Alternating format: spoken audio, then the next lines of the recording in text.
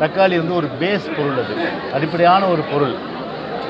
அதாவது வந்து நீங்கள் குழம்பு செய்யனாலும் சரி அதே போன்று ரசம் செய்யனாலும் சரி அதே போல் வேறு எந்த விதமான அளவுக்கு வந்து பதார்த்தங்கள். அதெல்லாம் பண்ணோம்னா தக்காளின்றது ஒரு பேஸ் தக்காளியோட எது எது சேரும் அப்படின்னு பார்த்தா அந்த பேஸ் பொருளோட இஞ்சி சிறிய வெங்காயம். அதே போல் இந்த மாதிரி காய இந்த மாதிரி வந்து ஒரு அடிப்படையான பொருட்கள். அரசை பொறுத்தவரை உணரல. இந்த விடியாத அரசு மக்களுடைய கஷ்டங்கள் உணரல. பாருங்கள் எந்த காலத்துலையும் இல்லை.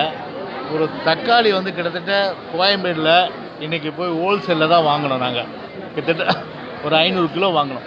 நூற்றி ஐம்பது. நூற்றி ஐம்பது. நூற்றி ஐம்பது ஹோல்சேலு ரீட்டெயிலில் வந்து நூற்றி எழுபது ரூபா அதே போல் நூற்றி தொண்ணூறுரூவா இந்த மாதிரி விற்கிற நிலையில் எப்படி வந்து ஒரு சாதாரணமான நடுத்தர ஏழை எளிய மக்கள் வந்து ஒரு குடும்பம் தள்ள முடியும்?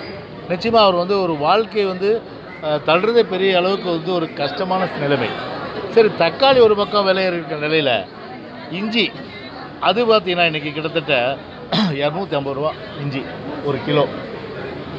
சிறிய வெங்காயம் அதுவும் விண்ணை தொடுகிற அளவுக்கு.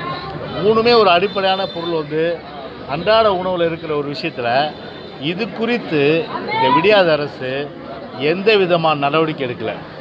இது குறித்து ஒரு மேயர் வந்து நிருபர்கள் கேட்குறாங்க பொறுப்பாக என்ன சொல்லலாம் தக்காளியை வந்து நாங்கள் வந்து வெவ்வேறு மாநிலங்கள்லேருந்து நாங்கள் கொள்முதல் பண்ணிவிட்டு சென்னை மாநகராட்சி இரநூறு வார்டு வருது. இரநூறு வார்டுகள்லேயும் ஒரு மானிய விலையில் நாங்கள் தருவோம் அப்படின்னு சொன்னால் அது ஒரு நல்ல விஷயம்.